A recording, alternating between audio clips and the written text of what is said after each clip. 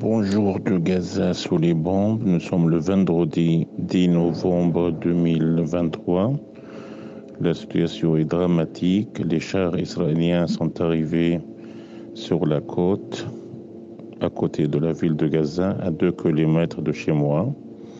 Malgré les menaces, malgré l'avancée de ces chars, je suis toujours chez moi.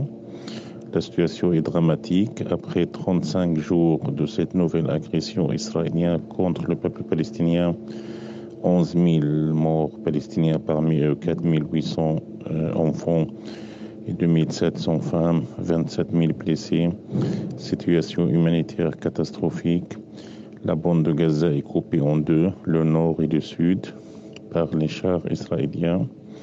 La poursuite des bombardements israéliens la poursuite de la catastrophe humanitaire. Il n'y a pas d'eau, il n'y a pas d'électricité.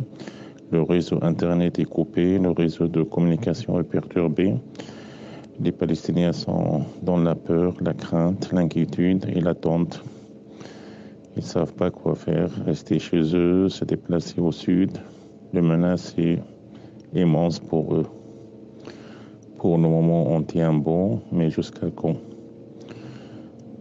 La situation est catastrophique pour 2 400 000 Palestiniens qui sont laissés à leur sort par le monde officiel.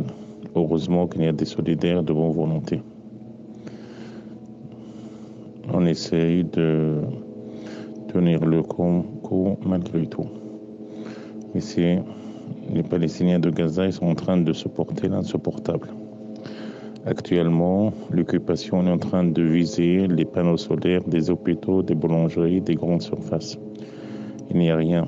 Toutes les boulangeries dans la ville de Gaza sont fermées. Les grandes surfaces sont fermées. Il n'y a rien, à part des petits supermarchés dans les quartiers qui sont presque vides.